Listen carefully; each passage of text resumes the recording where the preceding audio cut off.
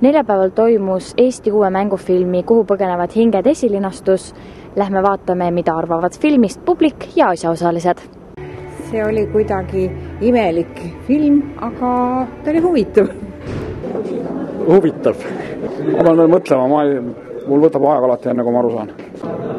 nii ja naa, muusika oli hea filmi point, oh issand, laske nüüd mõelda, just see, et ma ütlen, kui ma vaatan oma, oma rolli seisukohalt, siis või siis just see, et ei olegi aega, et ei olegi vanematel aega, lapsed tegelevad millegiga, on see satanism või on see, on see narkootikum või mis iganes, ütleme, see oli nagu väga äärmuslik, see satanismi teema, aga põhimõtteliselt just see, et oma kriisid on nii suured, et tihti jäävad lapsed märkamata, et võib-olla selle, sellest, see, selle üle vast mõelda või. Teie jääte ise filmiga rahule? ei noh eks seal ole igasuguseid kohti.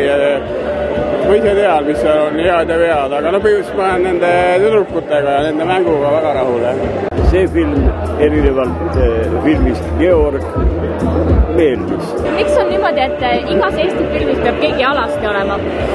inimestel vahest ei ole lihtsalt riided seljas. kui palju sulle maksti selle eest, et sa alasti seal oleks?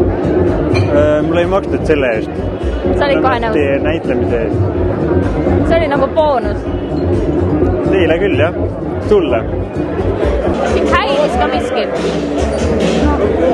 ikka on see, et mingid kohad lõigatakse välja ja mis võib-olla endale olid südamelähedased, aga noh, režissöör otsustab. no mis sul näiteks välja jäi, mis sulle meeldis? näiteks mul läksid juuksed põlema, aga see jäi välja. kuidas oli Lennaga suudelda?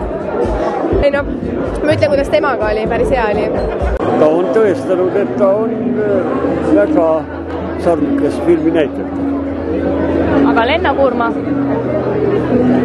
Lenno Kuurma oli isegi karakternäitleja ja tema samuti. aga mis sinu meelest oli filmi point? et kuskil on teine pool